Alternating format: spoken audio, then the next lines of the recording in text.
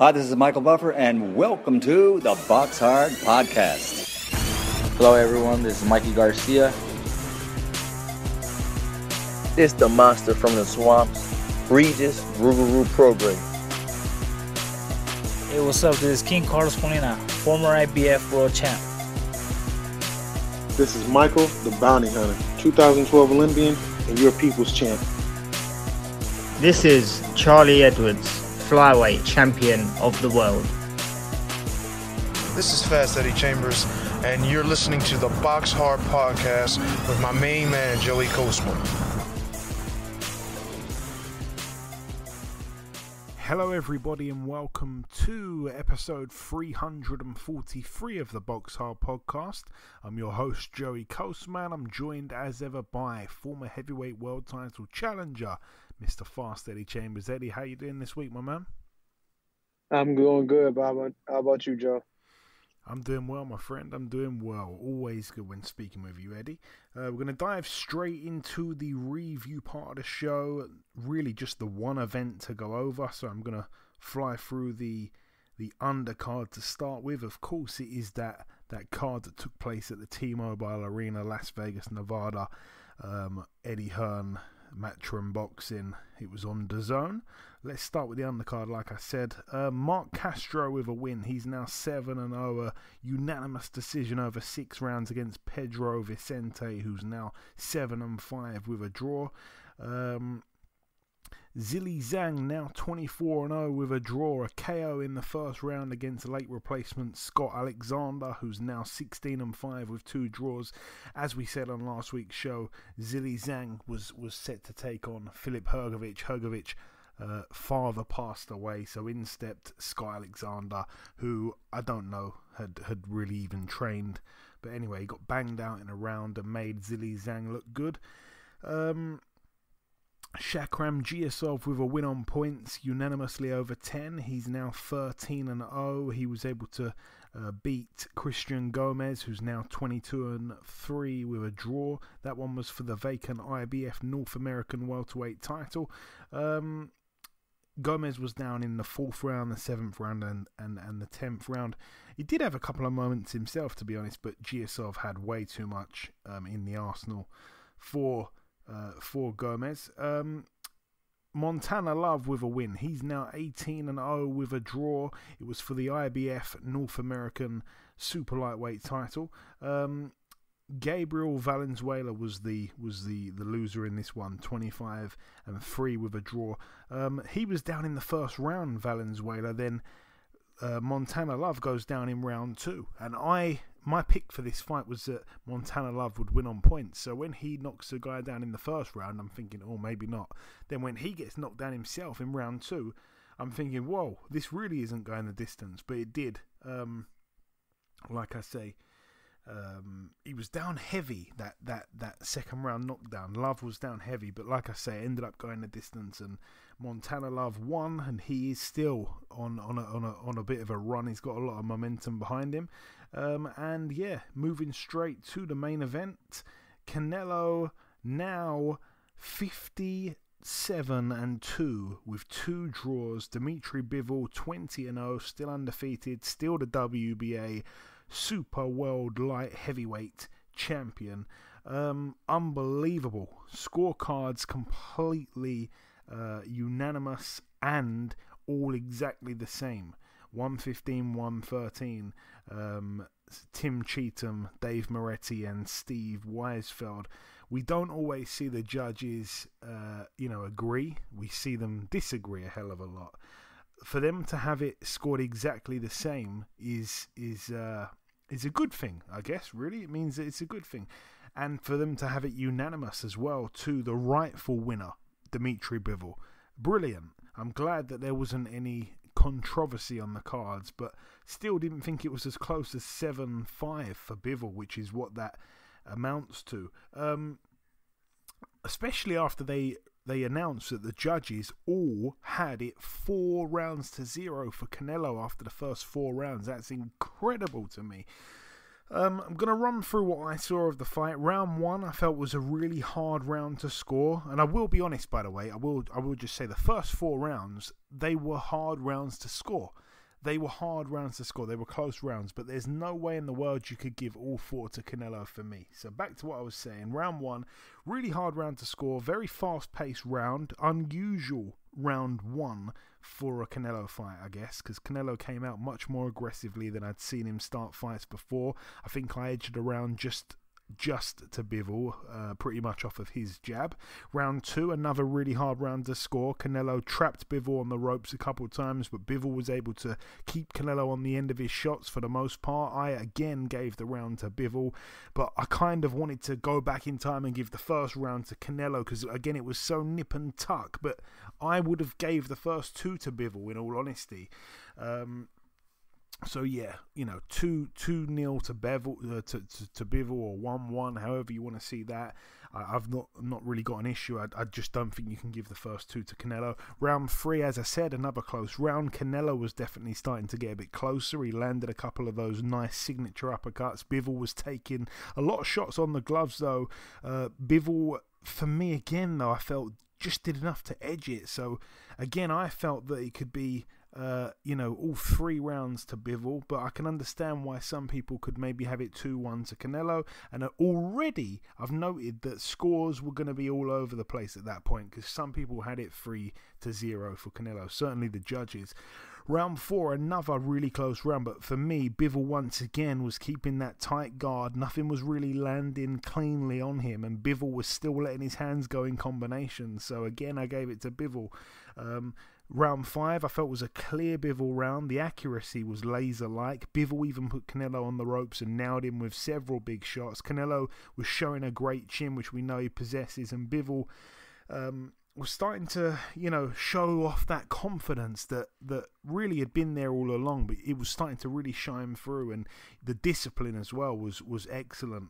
Um, round six again, I gave to Bivol. I was shocked to hear that Sean Porter had the fight three two for Canelo after five rounds, um, especially uh, something that I should mention. Canelo landed six punches in round six. Um, round seven, another Bivol round clearly for me. And again, I was stunned by how disciplined he was. He was incredible.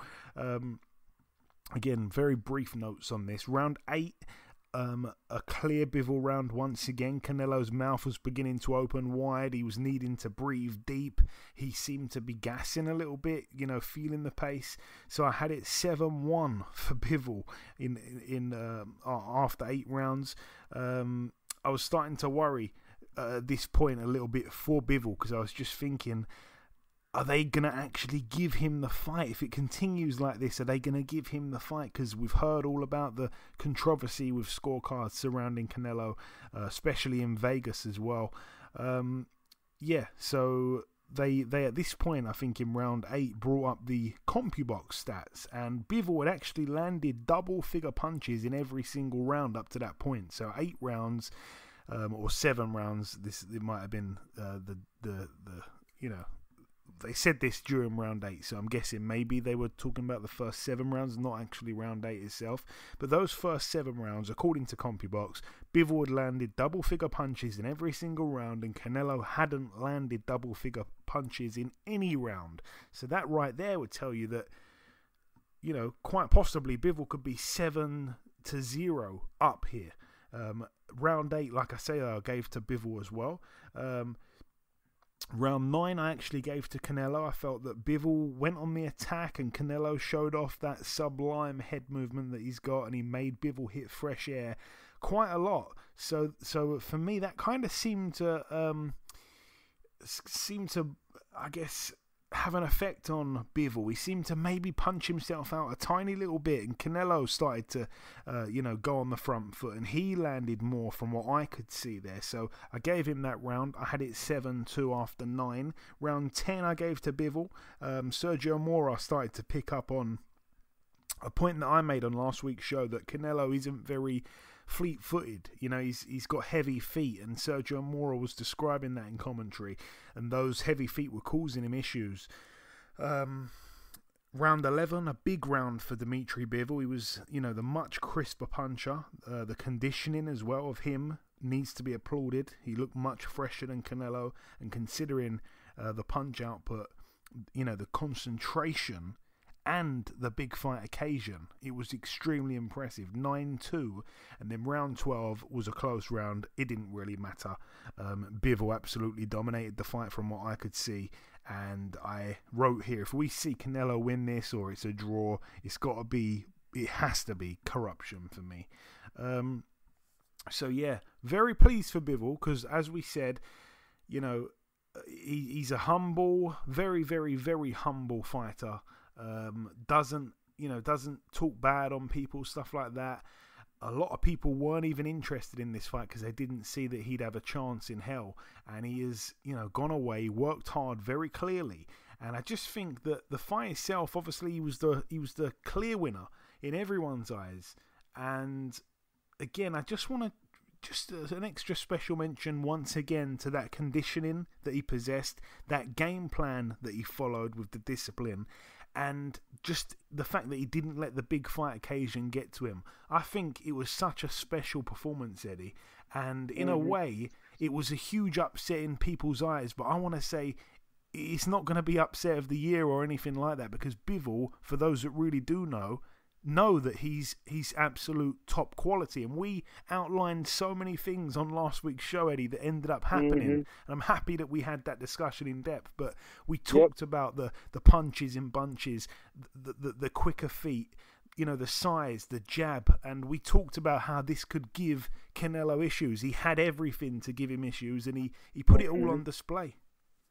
Yep, he showed he showed exactly who he was on the night, and it's it's awesome to see that for him. I'm happy for him.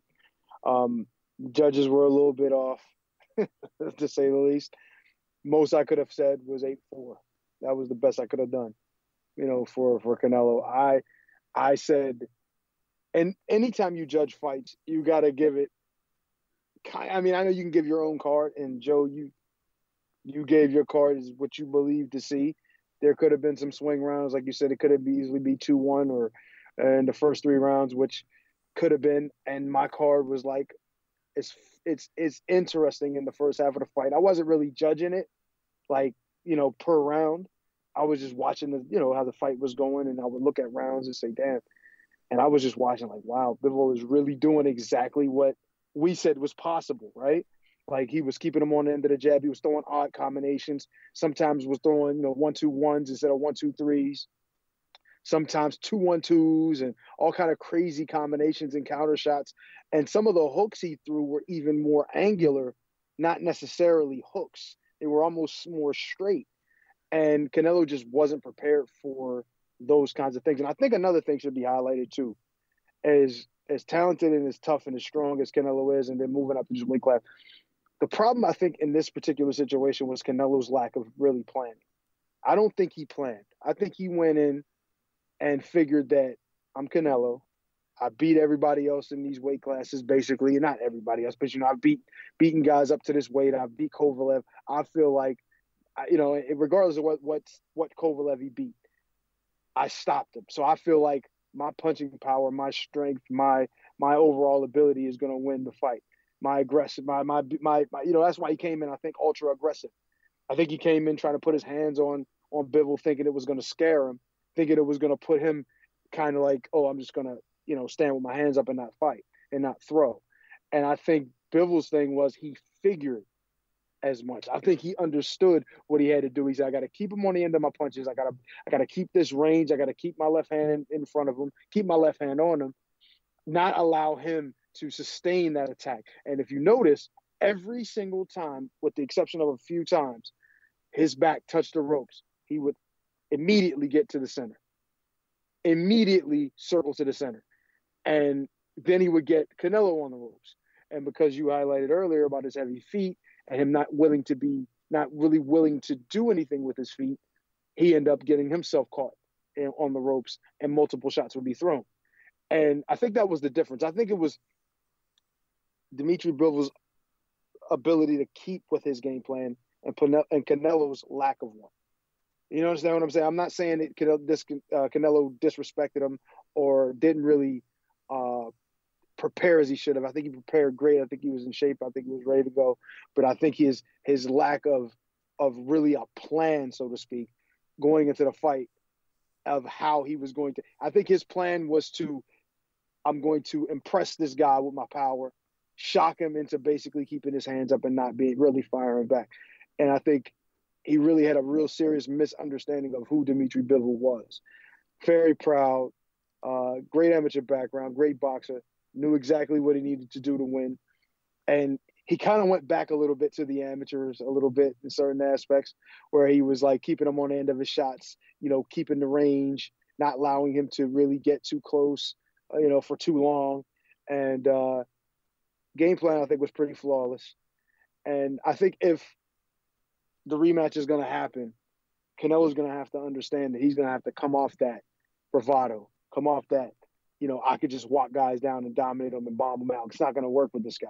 He's going to have to have a real game plan. And I have to figure out how to take a page out of Floyd's book a little bit and use range because he has the speed, he has the ability, and I think he could have the feet. It's going to be kind of hard to train it in one camp, but he could. I don't know if he's going to be able to beat Bivol with it, but he definitely can make it a little more interesting than this this this, this fight. Because I just think he, I just think that Bivol, the way he boxed, the way he moved, Canelo's not going to be able to do what he tried to do in this fight. The kid is just too strong. His armor was a lot stronger than he thought it would be. He was able to defend. He wasn't getting hit very much except for on the arms, which I think was by design for Canelo, which was a good plan, but it just took too much out of Canelo and he didn't have enough in the way of a, a backup plan if that wasn't working. So, you know, all in all, Dimitri Bivol proved he is the, the elite of the elite. And if there is a rematch, I would be interested in see what adjustments Canelo can make to actually be more competitive because I don't think this was that competitive to be honest um, in this particular fight. So and win the next fight. So interesting. I loved it. I'm happy to see Bivol, you know, win the fight, and, and he deserved to. And um, hopefully, hopefully, we'll see a good fight if if there's a rematch. Yeah, and you certainly wouldn't write Canelo off in the rematch either, because we all know how good he is. Um, I remember speaking on last week's show and just kind of highlighting the fact that um, I, I, guess I didn't say it as clear as I'm about to say it now, but I'm going to say it very clear now. Canelo doesn't really get people out early on. He really doesn't. He tends to come on strong as the fight goes on. He, he tends to break people's hearts, and it brings me back to the likes of the Plant stoppage in the 11th, the Billy Joe Saunders stoppage in the 8th. Um, he ended up going the distance with Callum Smith. Um, Sergey Kovalev, the stoppage in the 11th. He ended up going the distance with Danny Jacobs. The only time he's knocked people out early, I've, I've skipped over him there, but it's Avni Yildirim and it's Rocky Fielding. Both guys he took out in, in uh, three rounds but they're way below the level of the guys that I've been mentioning there. Obviously, went the distance with Golovkin in two back to back fights. The fight before that went the distance with Julio Cesar Chavez Jr. The fight before that knocks out Liam Smith in round nine. The fight before that, he, he actually goes to round six with Amir Khan. He's always been a guy that comes on strong and kind of gets the stoppage late on. So, um, True. So I was waiting to see what was going to happen late on, but you know, Bivol had so much more than I think Canelo expected him to have late on, and it goes to it, it goes back to what I was saying about his conditioning and you know the unbelievable accuracy, the fact that he put a dent in Canelo pretty much straight away, and I just mm-hmm. I just don't remember Bivol even missing many shots. I mean, Canelo has got such great lateral movement, head movement, but I just don't remember Bivol missing much. And as you said as well, every time he'd be on the ropes, he'd find his way back to the center of the ring. And every time Canelo would would land an eye-catching combination, he'd fire straight back. You know, nothing mm-hmm. seemed to mm-hmm. faze Bivol at all. Um, right. I think he was excellent. Um, but yeah, we've I got. A, we've we've got. Uh, a, sorry, Eddie, go on. Go ahead.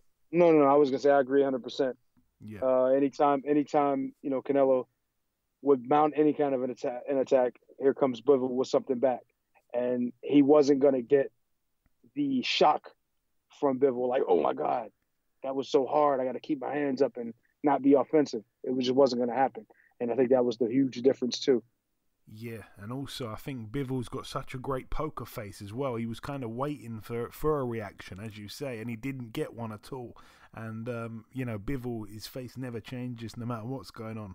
Um, I, as I said, gave Canelo two rounds. I think at the very best you could probably give him four, um, and that's really at the very best. I don't think you can you can give him five. You certainly can't give him six, and never in a trillion years could you give him seven. Uh, if the rematch happens, like I say, we're all going to tune in once again. Canelo's going to make a truckload of money once again, and it, it, it's not a it's not a foregone conclusion when Canelo's involved. Um, we've got to give Canelo credit as well for taking this dangerous fight. A lot of people didn't recognise it as a more dangerous fight than a Benavides or a Charlo, um, unfortunately. So he didn't really get the credit. And Bivol, it's kind of in a lot of casual boxing fans' brains, has just come out of nowhere where that completely wasn't the case. Um, last last little topic of discussion on this, Eddie, because we want to bring part one to a close quite quickly. But I guess before this fight, I'm not sure who was your number one pound for pound fighter in the world, but let's just say for a moment here, was it Canelo or, or was it not? Yeah. It yeah, was, it was Canelo. Canelo. It was Okay. Canelo, yeah. So before the fight, he's a pound for pound number one.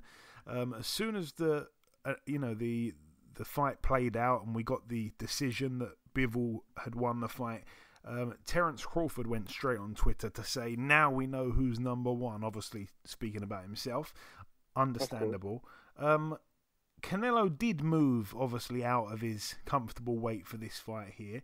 A loss to Bivol in that fashion, does that mean that he loses the number one pound for pound spot? It's, it's such a open discussion. Some people think, think yes, certainly. Some people think no. Because obviously, if a flyweight that's, let's talk about Naoya Inoue, for example, a fantastic fighter down there at is it bantamweight, super bantamweight, whatever? I think it's bantamweight. If he were to take on Tyson Fury at heavyweight, he's going to lose the fight. Doesn't mean that he should lose his position in the pound for pound rankings. So, where do you sit on that? I, I agree to a degree that it doesn't necessarily mean he's going to lose it. But the problem with this ideology is, is, is it's like I see him going up and he beat Kovalev. So it's like, oh, he beat Kovalev. class. It is only one, and, and, and it is because he and he and he he's the undisputed 68 pounder, and there's only one weight class up to 75. So it's kind of hard to say, well, should he lose his spot? But he's really a 160 pounder. But then he uh, unif- he he uh, he's undisputed at 168. It's just it's a tough question to ask. But if if if he loses his spot, then you know, dare we say Bivol is now he is he now in the pound for pound conversation as one of the top guys pound for pound? Is that something that catapults him in there? And and then Terence Crawford saying saying that, but Terence Crawford's been pretty safe at 140, 147. And does he have the resume now, even even after beating he did beat Sean Porter, but does he have the, the resume to be that? You know what I'm saying? I don't know. There's a lot of ifs with this whole pound for pound thing. But Canelo's definitely the most qualified, even after the loss, to be pound for pound number one, too.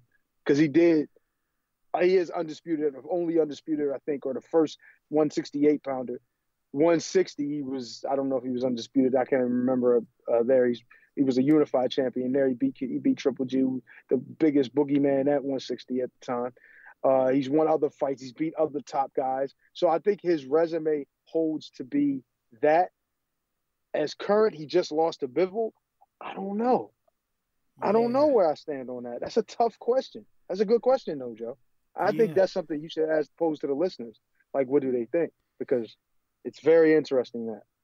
Well, we're always open to listeners' feedback. Certainly, when it comes to these uh, hot topics, these these debatable discussions, because I was I was kind of comparing it for good Mhm. reason to when obviously Lomachenko was being spoke about as like the, the number one or number two pound for pound, whatever. Then he lost Right. to Teofimo Lopez, and then all of a sudden Lopez is gate crashing the top ten list. When prior to beating Lomachenko, which we know was a close fight by the way, some people even Mhm. scored it to Lomachenko. Prior to that, Mhm. he didn't really have a fantastic resume. Don't get me wrong, he did bounce Richard Commey off the ground in about two rounds, and Commey was a former world champion. That was very impressive. But that was was a uh, a catastrophic jump up in class from the guys he'd been fighting to Commey, got him out Mhm. in two rounds, and that's another situation where you know, Canelo, sorry, not Canelo, uh, Lomachenko had gone up to a weight class at lightweight Mhm. where he's not most comfortable, like Canelo's done at, at 175. Can you put Yep. Bivol in? I mean, I don't know because he's beaten potentially the best fighter in the world pound for pound, but it's because maybe he's at a weight disadvantage that that's why you've got the win. I don't know because again, It's hard to say. look at how Bivol beat Canelo compared to how uh, how how Lopez beat Lomachenko. That was a close fight. This wasn't in most people's No, eyes. it- So Right, right. there's right. no right and wrong answer. It's just this is why the sport is so uh, just based off of Yeah. opinions. Really, I mean that's how it is. Right. Let's be completely honest, Eddie. I mean. There's, Yeah. there's all these sanctioning bodies have got rankings. It's all based on opinions. If they don't think you're Facts. the best 15, then you're not going to win a world title. It's impossible. One million percent. That's a hundred. Like there's so many guys who could be out of the top fifteen and or rated in the top fifteen in other organizations that are better than the top fifteen. It's just wild. It's wild how this thing thing is, but it's one million percent all opinions of the people who are in power, and I think that that makes it tough. That makes it tough because then if not if not their, their opinions, then whose opinions? You know what I mean? Would it be the fans? You know what I mean? But then you got to be careful because then, you know, if we're, if we're talking about fans, then you never know how many of these fans are actually knowledgeable. So, you know, I don't know. It's just, it's, it's, it's a loaded question. There's, there's a good, there's a couple great, a couple great questions, Joe. I got to say, yeah. I like and- these. and, and as you mentioned as well, just to cap it off, as you mentioned there, that there are guys that are not ranked in the top 15 that would beat guys that are ranked in the top 15, and maybe they're not Facts. they're not in that top 15 because who knows? Maybe they're not with a big promoter, or they haven't been on TV, and they haven't been Uh-huh. seen by a worldwide audience to have that demand. But Yes, there's sir. also, I'd even go as far as to say there's WBA world champions or versions of a WBA world. Cha- I think WBA have got interim champions, regular champions, super champions. There are some Mm-hmm. title holders that are not as good as some guys that are, let alone in the top 15, probably in the top 30. And um, Uh-huh. it just it just makes you shrug your shoulders. It is such a who would who who knows anything about boxing anymore, Eddie? It's just a you can You can't, it's like this. no one knows all- anything. it's all politics, man. It's like you think you think the elections are crazy. Go to look, listen to the listen to the rankings in boxing, and you're like, how the hell is this guy here? Like, how is this guy a world champion? He's not even in the top fifty in this other organization. But maybe his promoter has a good relationship with this guy and got him a title shot. And I'm not gonna say any names or pick any guys out, but the fact is, it's really bananas how they got this, this whole thing going. It's crazy. You think you would think that it would be simpler, you know what I mean? But it's just not. And there's so many different organizations, and there's others like the IBO who's starting to gain more credibility. So now there's a fifth title out there that people want to own, and it's just like, how many champions are we gonna have? Who? How can you decipher who's who's real and who's fake? You know? Yeah, no, absolutely. And back to the WBA. I think I've told the story on the podcast before. In the past, they actually uh, had a guy in their rankings. He was in the top 15, and I think he was ranked uh, maybe ranked 14th or something like that. And then he actually he actually passed away. And in the next month's rankings, he'd gone up to 11th while while being deceased. So get your head around that one. Whoa! It's you- happened. oh Lord, that is unreal. Yeah, Unreal. Uh, that's Wow. that's the headline. A dead guy moves up in rankings with a WBA. But that's a story. If you don't know, for another day, you can Google that one. It is, uh, it's, it's it's tragic, but it's also hilarious for the for the blooper. Um, anyway, Yeah. that brings the review part to a close. That is the end of part one. The final thing for me to do is to welcome this week's special guest.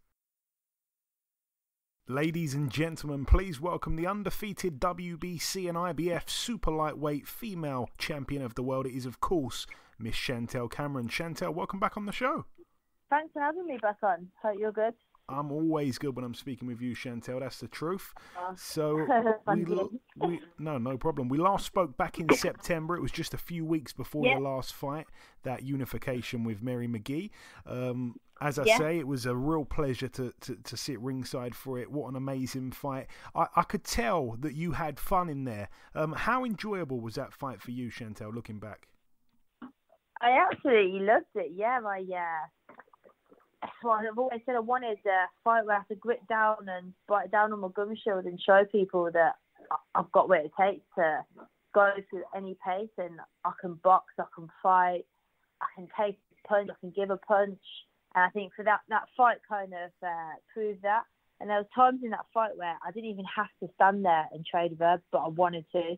Like I could have made that a much easier fight if I just boxed. I think uh, I'd say she won about two rounds out of ten, and that was just because I was just having fun standing toe to toe. Like she wasn't hurting me, um, like it was just a good, good, like good war, really. Like, Yeah, there's not once where she actually hurt me. Like afterwards, my face looked all grazed up and that, but that was from the gloves, like, no leather marks. Yeah, no, absolutely, and like I say, it was it was hard to give her uh, many rounds at all. Um, and yeah, you showed you know your fighting, your boxing, even a little bit of wrestling. I think she ended up on the deck at the end of one of the rounds as well. Um, Yeah, yeah. I think that was just, just to prove that I'm strong. I felt sorry for her for a just second to let her know. But I Okay. she done something the other day. I got tagged in something, and I'm just thinking, I'm getting into it. I've got my own fight um, coming up.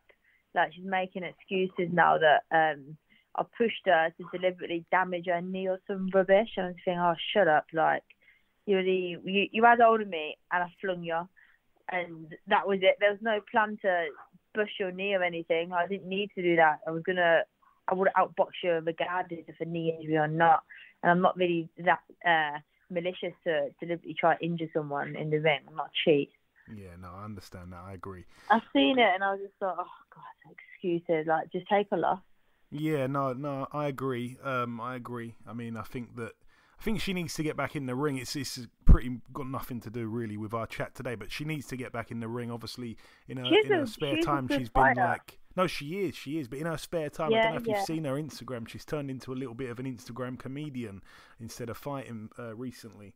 But all is well. Um, yeah, so I it just was. got tagged in there some things saying that I'm a dirty fighter.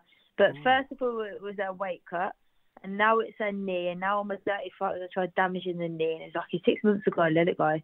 Yeah, like yeah. you lost, and the the rematch will happily happen, but on my terms when it's right for me. Like my career is moving forward, and I took your belt. That's it. Yeah.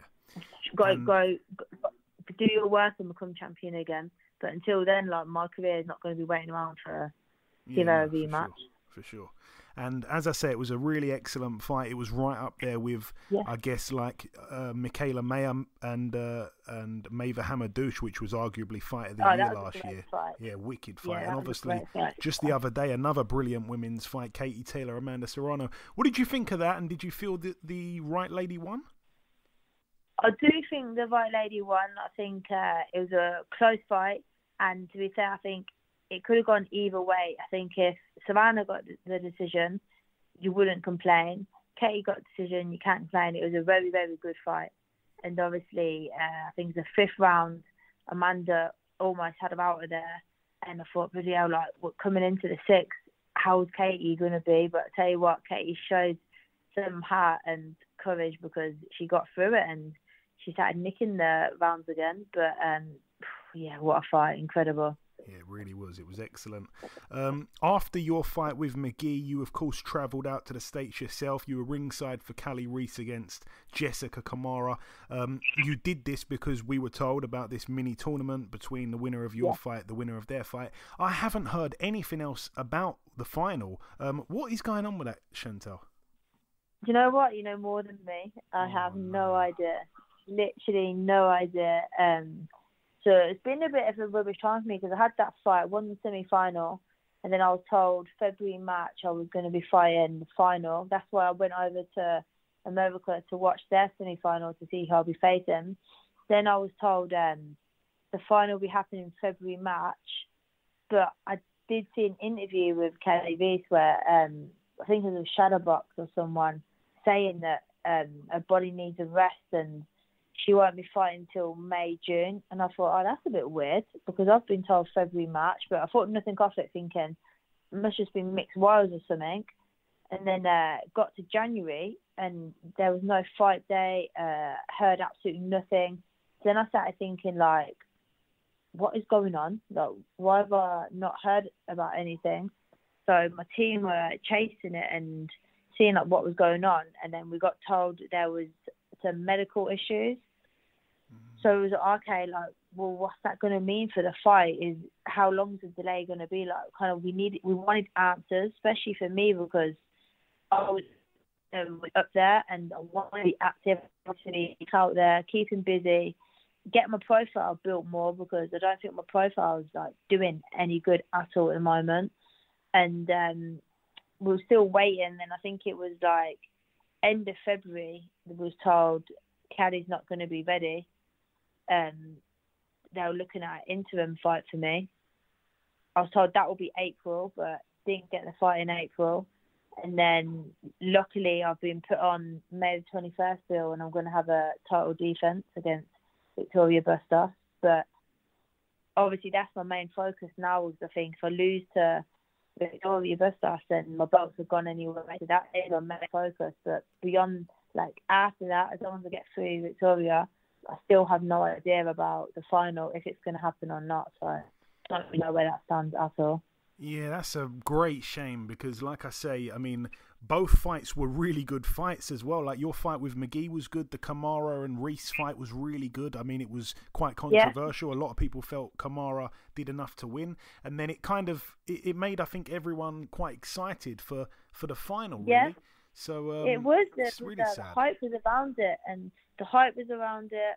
Um, I just had my win. She just had her win and it was building. It was like the first female tournament as well for Undisputed. Like there was a lot of hype around it, and then literally it just it just stopped and it just went under the radar, and it was like, what's happening with this tournament? What it's just completely just gone under the radar, and then my whole career went under the radar because nothing was going on for me. So I lost sponsors. People were saying like, "What's going on?" Oh, "What what happened to fight?" And I couldn't give anyone an answer. And uh, it just basically just put my career back again because it's just it's not been a good image for me. And people that were sponsoring me like they've not been very satisfied because obviously I'm not getting promoted and stuff they're not getting anything from their sponsorship deal and that. But luckily I've had a good few loyal ones that have stood by me. But with the Camara fight like I said I I thought Camara won and that's what the uh, the most frustrating thing is is if Camara did get that decision, the fight would have happened by now. So it's quite a bit of a bitter one for me because I think, oh, just what bad luck. Yeah, you haven't had it easy outside of the ring, I tell you, man. I mean, you know that yourself. Yeah, yeah. It's, it's been a rough ride. Someone looking down at me, thinking this girl is not going to get where she wants to get to anytime soon. Oh man, don't say that. You've been you've been excellent. Obviously, it's, everything's fantastic. You got two of the belts. You're number one in the world. I think everyone yeah. really knows that. And um and and you know, I think maybe when Katie Taylor retires, everything's gonna start picking up. maybe that's Hopefully, what it is. Yeah. Hopefully, then the, the, the boxing people start looking after me a bit better and actually start giving me the opportunities. Yeah, and talking of, I guess, uh, bad it's a luck. bit frustrating. Yeah, no, I can imagine. And talking of bad luck and stuff like that, I've got to ask, how is Jack Catterall getting on? I haven't, uh, I haven't spoken to him or anything recently. I haven't spoken to him since since the fight, really. But is he okay now? Yeah, he's back in the gym. He's been back in the gym for a while now, to be honest. Um, he's just ticking over, back in the gym, and I think himself, he's just waiting for his date. But he's actually he's been helping me prepare for this fight as well. He done some rounds with me the other day. Oh, brilliant, brilliant. And um, can't get better start. Yeah, exactly. That's what I was thinking. Yeah, I was I was wondering. I, I was thinking you, you're like the same way. I reckon you've probably done a few rounds, so I'm not surprised to hear it. Um, your next fight, obviously, as you mentioned, uh, May 21st, back at the O2 again. It's going to be part of that yeah. Richards undercard. You'll be boxing, as you mentioned, Victoria Bustos of Argentina, former two weight world champion. Um, what else do you know about her, Chantelle? She's tough, she's durable, she's boxed all the top girls. She's boxed Katie, she's boxed McCaskill, she's boxed Cecilia. So, do you know what I mean? She's been in there with world class operators. So, for me, it's to prove myself. I've got a massive point to prove, and I think that's what I've got to do is show people like don't put me in a corner and don't don't forget about me. Like I'm still here, and I've got to put on a good performance to make people remember that. And obviously, you didn't just mention there, but I'm sure you know already. She's never been stopped. I'm guessing that's something yeah. that really excites you. I know the way you think. Yeah, yeah, but like I say, I never looked for the stoppage. But um, yeah, I don't my, believe you. Like Jamie, Jamie, and that is saying like she's never been stopped. Like, this is a good chance. Yeah. But I'm not going to go looking for it. But uh, I'm feeling strong. I've been doing a lot of work with Kerry Kayes, and uh, I never felt so strong. So yeah, I'll, I'll just uh, let my hands go and I don't don't talk the talk. You've got to walk the walk, and I. and obviously, we do really badly want to see that Kali Reis fight. I'm sure she's on the top yeah. of your radar. You want to be undisputed. Um, is is there anyone else who comes close to her on your radar just yet? You know what? Like, I think it's because of the last few months. It was all I was focused on is undisputed and having all the belts and stuff. But I kind of just now I'm just like I just want to fight. Like I just want to be active and I want to be fighting, and that's it. I think uh, I put so much of my heart into becoming undisputed and being so determined and so adamant I was going to become undisputed champion.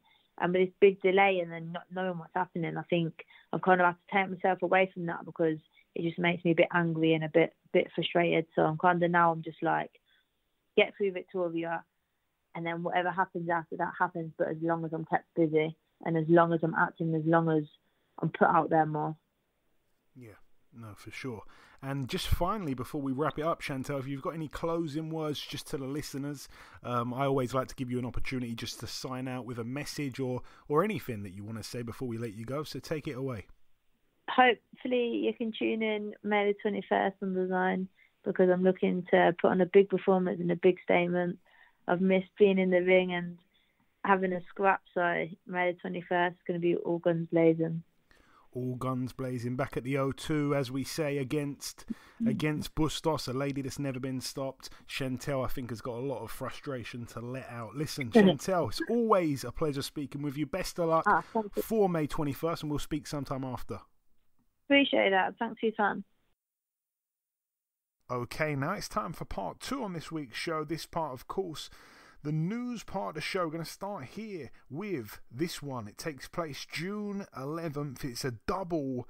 Um, it's a double card on BT Sports. So the headliner in the UK, this one goes down in Telford. We're going to see Mark Leach um, who's coming off that brilliant win last time out. I can't remember who he beat now. I think he beat a guy at York Hall. Um, he gets in with yeah with with Liam Davies. That's a, that's going to be a really really good fight there. Liam Davies, I think I've seen once or twice live. Um, so that's that's a brilliant fight there. Also on the undercard as well, we get to see the third fight between Casey Kadami, friend of the show, and Ilyaz or Ayaz Ahmed. Uh, so yeah, I think the first fight was a win for um, Ahmed, and the second fight was a draw, and this is the third fight. So we shall see what happens there. Uh, that's going to be great. Um, that's about it for that one, but that's the UK card. Then it goes over to the States. Um, I'm not sure how they're going to do this, if, if the timing's going to go straight from the UK to the US, or if there's going to be some kind of break in the middle. But we're going to see two cards in one night there, and the headliner uh, that that that takes place in the US. We're going to see. I kind of alluded to him a little bit without saying his name. I spoke about WBA title holders not perhaps being as good as some of the guys in the rankings. And yeah, uh, Trevor Bryan, uh, 22 and 0, 15 KOs, defends his WBA uh, world title against Daniel Dubois, 17 and 1, 16 KOs. Someone going to sleep there for sure, I'd say. Um, Mhm. So yeah, that's June 11th. I- Go on. Wow. I, I'm sorry. I'm sorry, Joe. I just had to say it. It's funny that you were saying what you were saying because I was the exact thing I was thinking. No disrespect, and I didn't want to say names, but that is crazy how that is exactly the person that I was thinking, like, how did this happen? But hey, it's boxing. Oh man. Um, okay. June 11th again. This one at the Madison Square Garden. Edgar Berlanga gets in with um, Alexis Angulo. It's not a fight I particularly like, but um, I think that's giving Berlanga a chance to get back on the knockout, uh, the knockout runs and stuff. Um, again, we spoke to David Benavidez on last week's show. It was cool when I asked him about Berlanga, and he was saying that, um, you know, he needs to stop calling me out if he's not ready for the fight because I'm here ready, waiting for the fight, and when the fight will happen, he will be knocked out. So there was some fighting talk there from Benavidez, who is admittedly a few levels above Berlanga at the moment. And on the undercard as well, um, Xander Zayas, the Puerto Rican uh, phenom, I think it's fair to say at this stage, he's going to be on that undercard as well. Um, so yeah, that's June 11th. So a lot going on there. Uh, what else do we have? What else do we have? Ben Whitaker, the Olympic silver medalist, just won at Olympic silver um, at the Tokyo 2020 slash 2021 Games um, last year. He has signed a prom- uh, promotional contract with Boxxer, so he's going to be boxing on. Uh, on Sky Sports, so that's fantastic for Sky Sports subscribers. Um, what else do we have? I think this is the final piece of news. Um, Jason Moloney gets in with Aston That's a bantamweight fight there. That is part of the undercard um, that we're going to see on June 4th between. Uh, that's that's on the undercard of Devin Haney and George Kambosos. Another one who I don't want to get back to what we were talking about in part one, but George Kambosos has just beaten um, has just beaten um, Teofimo Lopez. If Lopez was in the rankings, then can Cambosos get in the rankings? No one's really talking about him in the top ten or anything like that. And he's also got wins over former world champions Mickey Bey and Lee Selby. So more than uh, the likes of Haney, more than the likes of uh, uh, Lopez. So I don't know. It's just crazy this boxing ranking stuff. But anyways, um, so yeah, on his undercard, on on Kambosos and Haney's undercard, we're going to see Jason Moloney against Aston Palicte, and also a heavyweight showdown between Junior Fa and Lucas Browne. I love Lucas Browne, friend of the show, but I can't quite believe he's still fighting and he's getting in another really dangerous fight here. I cannot see anything else apart from him being knocked out early as well. So, um, yeah, I mean, I hope I'm wrong. Uh, anyway, that's it for the news part of the show. Moving out now to tomorrow night, Friday the 13th. Is there going to be some unlucky stuff going down? We shall see. It's going down though at the in, at the Indigo at the O2 in Greenwich, London. Uh, this one's going to be on Channel 5. Wow, I didn't expect that. I'm going to definitely set that up to tape or watch it live. Um, I think the main event is Linus Udofia, 17 and 0, getting in with Denzel Bentley, 15 and 1 with a draw. Both guys 17 fights into their pro career. Denzel Bentley, of course, mixed it at a slightly higher level and also picked up a loss in doing so when he got erased by um, by Felix Cash when Felix Cash really shone through. I think he was even the underdog, if I'm not mistaken. This one's for the vacant British middleweight title. Um, that's going to be a brilliant fight. Really looking forward to it because Udofia has come through on the small hall circuit. Um, you know, hasn't. I don't know. It's hard to say. I don't think I'd say he's had it the hard way as such, but he has improved recently, and I think because he's improved recently, this has made the fight a lot bigger. I think Bentley, in my eyes, is still uh, the favourite in my eyes, but actually with the bookies, they cannot split them. They cannot split them. They're exactly the same price, which uh, which is bad because neither of them you can double your money on. It's just slightly underneath that. So yeah, it's almost uh, terrible for betting on that fight there. But yeah, I think Denzel Bentley should should have too much for you, Udofi, but we'll see. Uh, return to the ring for friend of the show Josh Kelly, 10 and 1 with a draw. I want to say it's his first fight back after losing to David Avanesyan. Um, he's in a 10 rounder here against Zulio um, Vrenozi. I think I've seen the name before. 18 and 4 uh, over 10 rounds. Been stopped three times in those four losses, and I have totally forgotten who he's been in with. So I'm just going to quickly double check there. Definitely seen that name before. Um, Vrenozi been stopped by Linus Udofia. Yeah, that's probably where I remember it from. I'm sure that was on a Sky card. Um, yeah, back in uh, in October of last year. Also, um, as I say, picked up another couple losses. Okay. Um, elsewhere on the card, really good fight between Harlem Eubank, 13 and 0, another friend of the show, in a 10 rounder against Sean Mashadod, who's 17 and 6 with a draw. Sean Mashadod as well came up short last time out because he was kind of well, it was really sad actually. He, was in a real dark place outside of boxing, and then he returned and he was trying to win that Ultimate Boxer tournament where they fight over three rounds, and he just about lost it in the final against. Corey. I think it was the final against Corey Gibbs, or maybe he didn't get to the final. I can't quite remember now, but Corey Gibbs is a good fighter who went in undefeated and came out undefeated. He won the whole thing, but it was a really close fight with Corey Gibbs and and uh, Sean Dodd. I think Sean Dodd might have even done enough just to nick it. So it was a bit of a sad way for him to come back. Yeah, he did lose in the in the quarter final, I think it was. So. Um, yeah, gutted for him, but happy to see him get another opportunity. I just think Harlem Eubank might be a little bit too fresh too athletic for him. We'll see. Um, Brad Paul's 15 and 0 in a 10 rounder against Ryan Kelly, who's 16 and 3. Katharina Thanderz 13 and 1. The one loss came to Terri Harper for the world title about a year or so ago. She gets in with uh, Gel, who's 4 and 6. Harvey Horn as well, 9 and 1. No opponent just yet for him. Uh, moving out now to France. It's a heavyweight fight that's been.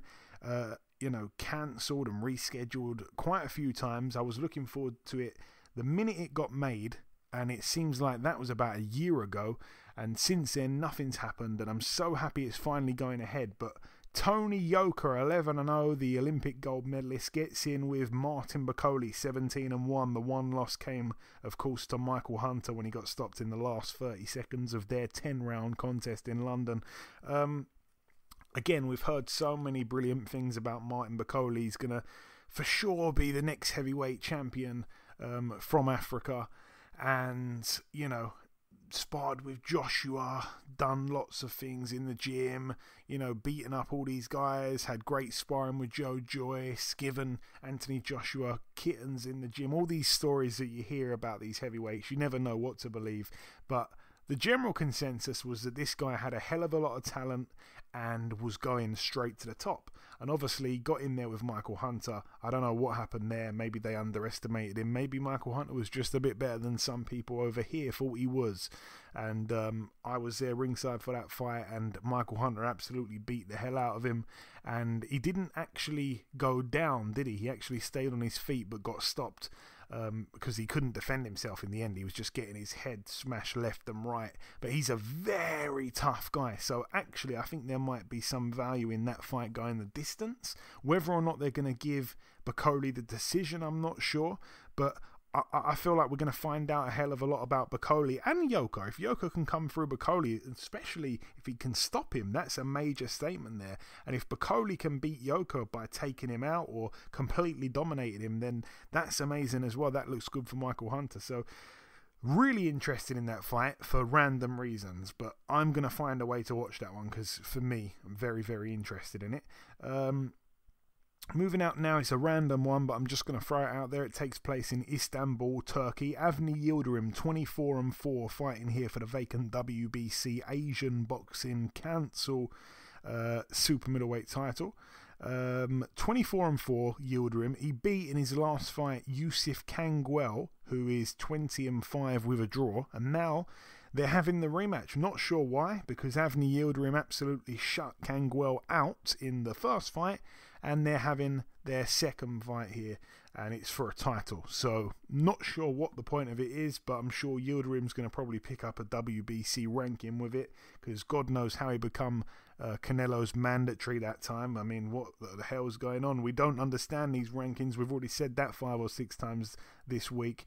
Um, moving out now to Dubai. This one, of course, is going to be on top of a hotel with a boxing ring on a helipad. It's never been done before, and who knows what the future holds. But, anyways, um, main event it's it's an exhibition, of course. I'm not sure how many rounds it is. I haven't really been interested in how many rounds it is, how long the rounds are, if there's going to be headgear, all the rest of that stuff. Haven't looked at any of it, what the rules are going to be, but all I know is Floyd Mayweather coming back um, in the ring in an exhibition. Obviously, last time we seen him in a ring in an exhibition was against Logan Paul, and he didn't look too good there. He gets in with Don Moore, dangerous Don Moore, who is actually an undefeated pro, which I don't think everyone knew. He's 18 and 0 with a draw as a pro, so a real fighter from Indiana. Hasn't boxed though for almost six years. Um, I think he's 42 years of age now, five foot ten in height, and he was a featherweight really at his best. So um, even though his last fight was at 147 six years ago, or almost six years ago, so yeah, not sure if it's going to be much of a contest, but he is getting in with someone who can fight. Uh, I don't know. Anyway, let's move on to the undercard, the more legitimate fights. We've got Badu Jack, 25 and 3 with three draws, friend of the show in a 12 rounder. No title on the line, though. He gets in with Haney Atio, who's 17 and 5. Bit of a pointless fight, really. We also see Katie Taylor, victim Delphine Persoon, 46 and 3, having her 50th fight. The part time policewoman part time boxer. 10 two minute rounds for the vacant WBC silver female super featherweight title against Elhem Mekhaled, who's 15 and 0. Um, moving out now to the. Um, the final we've got three cards actually to go over let's start with this one here i'm going to run through this one here um, Dignity Health Sports Park. It's going to be on Showtime, Carson, California, of course. Undercard, not really up to much apart from this one. Almost missed out on this one here. Uh, Jaron Ennis, friend of the show, back in action. 28 0 in a 12 rounder against Custio Clayton. 19 0 with a draw. I want to say Clayton is like ranked somewhere in the very top of one of the rankings, so maybe this is some kind of eliminator. I'd guess it probably is. I think it could be an eliminator for Errol Spence's IBF title, maybe, or maybe I'm just completely making it up. But anyway, should be a good fight. Two undefeated fighters getting on, uh, getting it on. So um, yeah, all the best to Ennis, friend of the show. And the main event, Jermell Charlo, 34 and one with a draw defending all four of the major titles, an undisputed fight. We always love them in boxing. He gets in with Brian Castaño of Argentina, 17 and 0 with two draws. Both men held uh, held on to their undefeated. No, not undefeated, because Charlo does have that one loss, doesn't he, to Harrison, which he avenged. I almost forgot. But anyway, both guys managed to. Um, to not lose, not win, and they had a draw. It was very controversial. Most people felt Castaño did enough to win, and they're getting it on again. So credit to both guys. Credit more so to Charlo for wanting that rematch and wanting to you know, to prove that that was a little bit of a hiccup like he did against Harrison. So, very, very intrigued to see how it's going to play out. Um, so tough, really, so so tough to pick a winner. Remember, Castaño had a real good amateur career, beat uh, some real good fighters in the amateurs, including Errol Spence. Um, so yeah, great, great fight there. Cannot wait to see it unfold. This one I think is going to be on Fight TV at the Forum in Inglewood, California. This one over here, um, Fernando Vargas Jr. 5 0 in a six rounder against Terence Harmon, who is 3 0. Uh, we've got Amado Vargas, who's 3 0 in a four rounder against. wow, I'm actually not going to say this guy's name because I almost swore. Uh, yeah, he's got a record of one. Jesus Christ. Should I just say it, Eddie? Absolutely. I think you should. or try. Okay, so Yeah, so Amado Vargas 3 0 in a four rounder against Anal Dudo.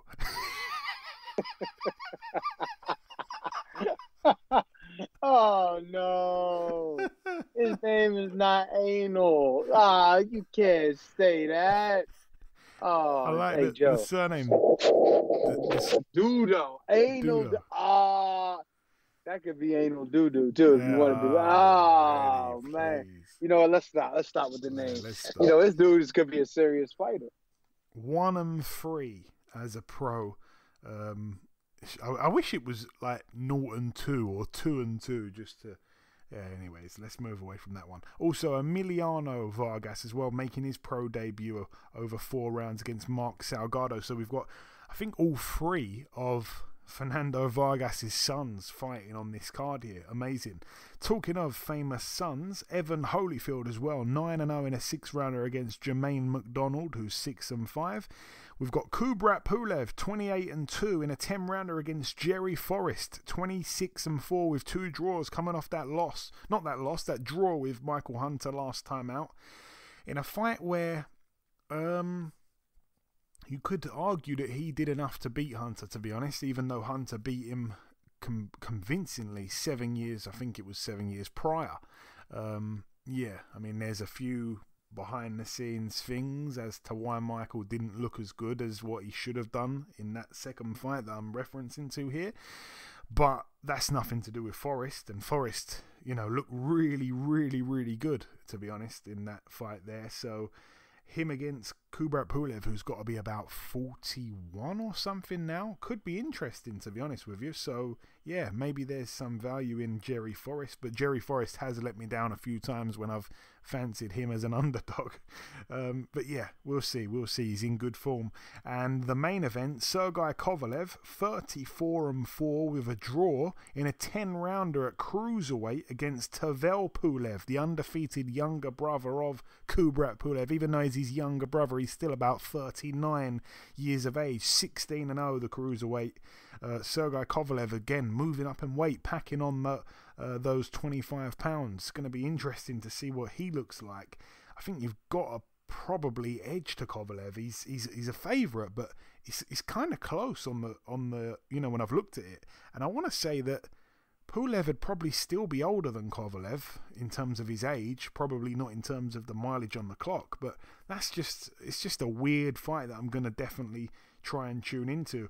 And then the final card to mention, it takes place at the Toyota Arena in Ontario, California, USA. Um, it's going to be on DAZN. Um, uh, the undercard, one real good fight to mention. I think there's no way that this fight is going to disappoint when it comes to action. We've got William Zepeda, always in a great fight, 25 and 0 in a 10 rounder against Rene Alvarado, former world champion, 32 and 11. Um, you'd obviously have to favour Zepeda. I think he's going to be much fresher and stronger. Looks unbelievable. Looks unstoppable, to be honest, at the moment. Um, people are talking about him getting in with someone like Gervonta Davis. Like people are kind of excited about the potential fight there. It's for the WBA Continental Americas lightweight title, but I think that's going to be uh, full of action. And the main event, Gilberto Ramirez, uh, 30, no, way past that, 43 and 0. Um, getting in with Dominik Bösel, 32 and 2. I think Bozell, German fighter, I believe, could have been a former European champion. He was around about European level at the peak of his powers. Um, two losses, can't remember who they were to now, but I think they were for European titles in a 12 rounder here against Ramirez. Earlier this week, um, Oscar De La Hoya, Gilberto Ramirez's um, promoter, I think just was joking around with the media when he said that they're going to try to get Ramirez to 40, sorry, to 52 and 0 and then retire just to beat um, just to beat Floyd's record. But at the same time, you never know what to believe with Oscar De La Hoya when it comes to Floyd because there's a bit of an agenda there. And the way they've been moving Ramirez, how on earth he's got to 43 and 0, um, you know, with that thin resume, I'll never ever know. I know he's from, you know, the tough, mean streets of Mexico, and he hasn't had it easy. I think, you know, he's he, he hasn't had it easy to be honest. He he didn't get to the top level for a long, long time. He had to do a lot uh, to to kind of get noticed really. Um, and I want to say like he's had a long pro career. Don't think he did too much as an amateur. Kind of had to learn on the job when he turned pro, if I'm not mistaken. But um, but yeah, you know he's he, he is good. He's a really good fighter, and I'm not sure why he isn't boxing for world titles because he was a world champion when he was at um, was it 168? I think he was at, and he beat Jesse Hart a couple times there. Jesse Hart pushed him close as well, and then yeah, moves up to 175 and just doesn't decide to uh, be be placed in that mandatory position, which you can do if you're a WBO champion. You move up in weight, you can be put straight in as the mandatory if you want to, and you'll get a shot very quickly. He decided to not do that, so you never know. Maybe they really are going for 52 and uh, 52 and 0. We shall see, and it's going to be challenging to get there because again, I've seen little things in his recent fights where he doesn't seem to be the same fighter he was maybe five years ago. So we shall see. So there's a lot of fights on this weekend. Whether you're going to be tuning into um, into what's going down in Paris between Tony Yoka and Martin Bakole, or you're going to be tuning into what's going down in Dubai with Dangerous Don Moore and Floyd Mayweather, whether you're going to be tuning into California, uh, what's going down there in Carson, California on Showtime between Charlo and Castaño, probably the best fight really of the weekend. Uh, great to see that rematch you know, finally taking place. Obviously, Jaron Ennis on the undercard in a great fight, two undefeated fighters. Or you might be tuning into, as I say, the Kovalev and Pulev card. I think we're going to have Cypress Hill doing some kind of performance as well on FITE TV for that one. Or will you be watching DAZN with Gilberto Ramirez, one of the longest win streaks currently in boxing, uh, trying to get to 44 and 0 against Dominik Bösel of Germany yeah, we'll see. We'll see. But anyway, that brings the preview part to a close. The final thing for me to do before we wrap up the show is to come in with the outro, which I'll do in just a few seconds. Okay, and this wraps up episode 343 of the BoxHard podcast. I've been your host, Joey Coastman. Eddie Chambers has been with me for the duration of the show. A huge thank you to our special guest, the reigning and undefeated IBF and WBC super lightweight female world champion Chantelle Cameron. The biggest thanks of all, though, goes out to you, the listeners. There has been one piece of news break whilst we've been recording the show. Friend of the show, Jessica McCaskill, will be defending her undisputed crown against Alma Ibarra as part of that Rodriguez Rung Rungvisai undercard. Once again, that is June 25th, live on DAZN in San Antonio, Texas. But that's about everything from myself. Enjoy your weekends, people. Stay safe, and we shall see you all again next week.